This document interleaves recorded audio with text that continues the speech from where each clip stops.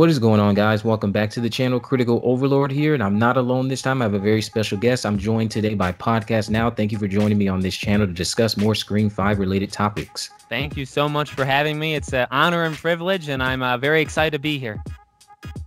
So today we are going to be talking about where we see the franchise going after Scream 5 because we know that uh, Spyglass and Radio Silence, they have talked about wanting to make future installments. At one point they did say that I think Samara Weaving was supposed to be in the in this film, but her schedule was not lining up with theirs, so she ultimately was not in Scream 5. So I definitely think they want to bring her back for future entries if Scream 5 performs well critically and uh, financially for them.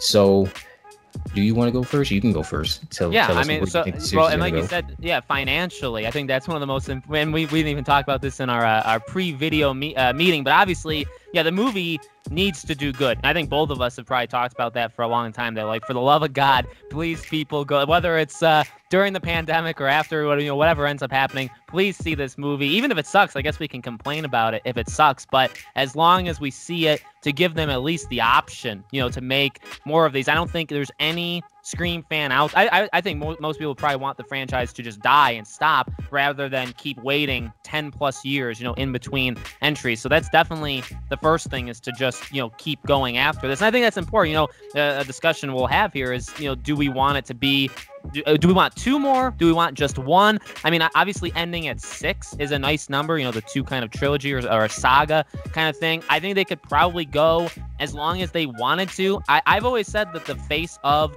Scream is Ghostface and Sidney. I, I, really do think of her just as important. However, depending on what they do with her, whether they kill her off or not, but uh, I guess how much they put onto her uh, in this movie will depend. Like, okay, well, you really don't need her in that big of a role going forward, and then really the franchise could theoretically uh, last forever. So I definitely want more of them. I'd prefer Sidney is in them, even if it's just kind of a mentor role or just kind of watching out for people, even as she gets older. Halloween has pulled it off pretty well. I don't really, and you know, Neve Campbell's only 47. I don't see why, if they make two or three movies in the next 10 years, I feel like they could do it.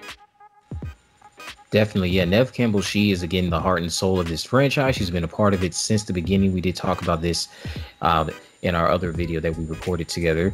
So I definitely would see Sidney sticking around in some type of mentor role.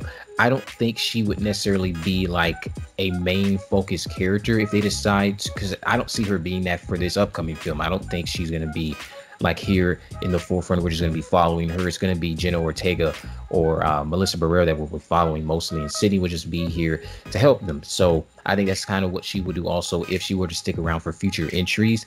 Um, and since we know that the Carpenter sisters are at the center of this fifth film, definitely would assume that they, of course, would make it out alive, but they could pull the rug out from under us, and one of them could die. At least one of them is going to make it out. One of them has to make it out. If if both of them die, that's that's going to be very shocking, a little disappointing too, because they're just doing the same thing that they've done in the previous films, to just kill off too many supporting characters. So I think the Carpenters should stay alive, and we should see this relationship between them grow uh, C, maybe, I guess, depending on how old Tara is, because I know Jenna Ortega plays the younger sister, depending on how old she is supposed to be. I think she's supposed to be like 17 or 18. We could see her go off to college. I know they've done the whole college thing before. They could do it again. Kevin Williamson actually already talked about the fact that he wanted to do that for his Scream 5, so they could do it here with Tara Carpenter and have her go off to college, maybe bring back Kirby Reed, have Hayden Panettiere come back and reprise the role. People already think that that's what they're doing with these supposed reshoots that are going on. But in future entries, yeah, I think they should just stop at seven. I would prefer, yes, they stop at six, but I think what they want to do is have another trilogy that's just separate and kind of like have Scream 4 be a bridge into this new trilogy since Scream 4 in itself failed to start off the new trilogy. So I think that's what they will do here. And then ultimately in the end we'll just have films revolving around these carpenter sisters getting to know more things about them. Of course having more killers come after them. We're going to find out things we didn't find out in this upcoming film of course because that's how else would they be making these sequels? Hmm. Yeah no, totally. I think the, these two characters are like uh, I, I, would say good enough. I guess maybe that would be kind of um, putting them down a little bit. But I, I'm interested enough in these two characters that if both of them made it through, that would be completely cool. If uh, I'm kind of bracing for one of them to not be there, I find it a little odd that Jenna Ortega. I mean, is Jenna Ortega, I guess, the like the bigger name, right? But she's been kind of on the media circuit even as they've been filming. Right, she was on the Drew Barrymore show. She's just kind of more in the light. Whereas uh, Melissa Barrera has kind of been, I would say, like overall more quiet. I don't know if that's kind of a, a sign of what's to come. I'm kind of only expecting Jenna Ortega to make it out of this. Again, if, if both of them do, that's completely fine. And yeah, I, I think one of the biggest things that kind of rests on if these movies are going to be good going forward is if you can keep finding reasons to bring a killer in. And like you were just saying, you know, uh, Scream 4 kind of as that bridge to this new one. I feel like you definitely have run out of ways of, of bringing it into Sidney. I think the last way that you could here, and we actually talked about this on my channel, is Dewey or or actually Gale. You know, if you kill off one of the other original two, you are bringing, you know, by doing that, you'd be bringing uh, Sidney back. But I think you know, they said, you know, the directors did say that like it the killer is connected to, you know, their characters, the Carpenter sisters, but as well as Sidney. But I feel like this would probably be the last movie that that kind of setup uh, happens. You know what I mean? Because after that, yeah, Sidney could be a mentor or, you know, just kind of there watching, uh, kind of growing old and then kind of just being brought back into it because she feels some sort of, you know, that she needs to protect these characters. But at the same time, you know, you can't keep having the characters uh, connected or the uh, the killers connected to her. And I, I, last thing I guess I'll say, I definitely agree with you when you say about the side characters. I mean, I think they made a huge mistake.